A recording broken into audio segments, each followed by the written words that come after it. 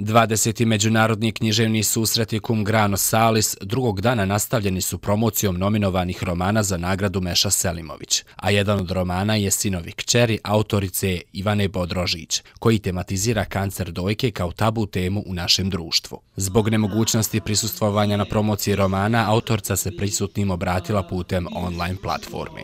To je pozicija osobe koja je doživjela saobraćajnu nesreću i osim e, uma i vida ništa više u njenom tijelu ne funkcionira.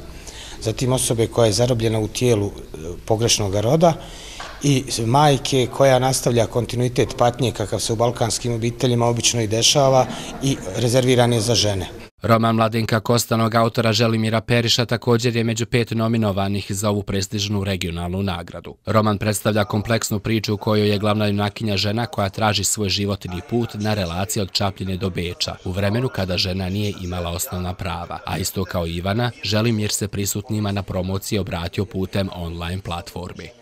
Želmir Periš napisao je blistavu knjigu na kojoj je radio četiri godine izučavajući što šta.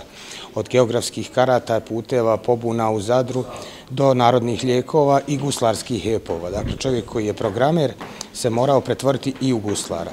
O vrijednosti te knjige valjda dovoljno govori činjenica da je već dobio nagradu te portala za najbolji roman u Hrvatskoj i da je evo u finalu nagrade Meša Selmovića bio i u finalu nagrade Fritz koju dodijelio dnevni list 24 sata. Pored promocije nominovanih romana za nagradu u okviru međunarodne književne manifestacije Cum Grano Salis, održava se i promocija autora nagrađenih prethodnih godina. Među njima je Senka Marić, koja je ovom prilikom promovisala svoj roman Kincugi tijela, ispričan sa autobiografskog gledišta. Roman Kincugi tijela jeste zasnovan na vlastitom iskustvu, ali ono što mi imamo u romanu je u stvari autofikcija. Dakle, ono što sam ja radila i čime sam se bavila je u osnovi bila književnost. Ja sam pokušavala da iz vlastitog iskustva uzmem stvari koje bi bile podesne za književno tretiranje, odnosno da vlastiti život i vlastito iskustvo posmatram kao određeni materijal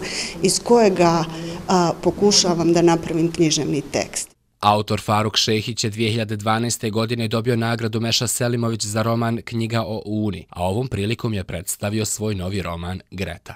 Pa recimo da je, da je teško strpati u jednu rečenicu, ali bi ja uvijek definisao kao da je to jedna, jedna, jedna mala slika, jedan mali portret jedne porodice koja se suočila sa svojom sudbinom i koja je prebazišla strahote užase rate koja se vratila u svoj grad.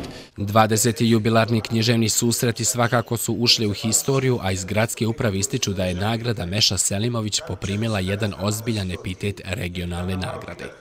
I ovo to je već tradicija. Ovo su 20. susreti. E, mnogi važni, već sada je malo kazati regionalni, nego i evropski pisi su dobili tu nagradu neki od njih su ušli u istoriju književnosti, neki su ušli u filmsku industriju, romani su im filmovani, e, tako da sam ponosan da je Tuzla e, vlasnik najveće e, književne nagrade za roman. Pored navedenih romana za nagradu Meša Selimović za najbolji roman nominovani su putujuće kazalište autora Zorana Ferića kao i kontra Endorfin autora Svetislava Basari. Svečana dodjela nagrade biće održana u subotu u Narodnom pozorištu Tuzla sa početkom u 20 sati.